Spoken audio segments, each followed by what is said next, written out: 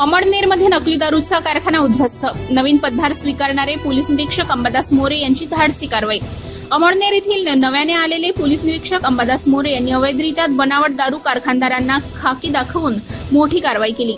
अमळनेर शहरातील धुळे रोडवरील भालेराव नगर व मंगरूळ विद्युत पारेषण केंद्राजवळ काही कालावधीपासून सुरू असलेला हा कारखाना नव्याने रुजू झालेले पोलीस निरीक्षक अंबादास मोरे यांना मिळालेल्या गोपनीय माहितीनुसार रुजू झाल्यापासून अवघ्या चोवीस तासात त्यांनी आपल्या सहकाऱ्यांसह ही धाडसी कामगिरी बजावली.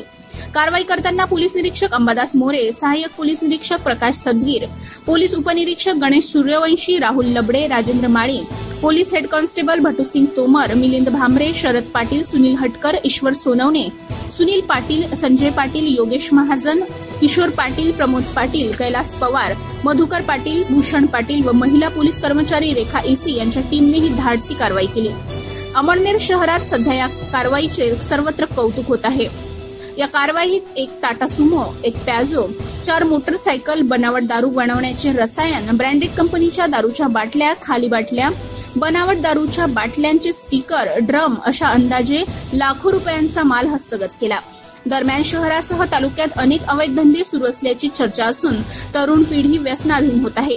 तर याचाच परिणाम तरुणांच्या आरोग्यावर होत असल्याने पालकांनी याबाबत वरिष्ठ पोलीस निरीक्षक अंबादास मोरे व त्यांच्या टीमचे कौतुक करत असतानाच अमळनेरात अनेक ठिकाणी बेकायदेशीर दारू विक्री होत असून अमळनेरातील राज्य उत्पादन शुल्क विभाग दारूबंदी मूग गिळून बसला आहे का?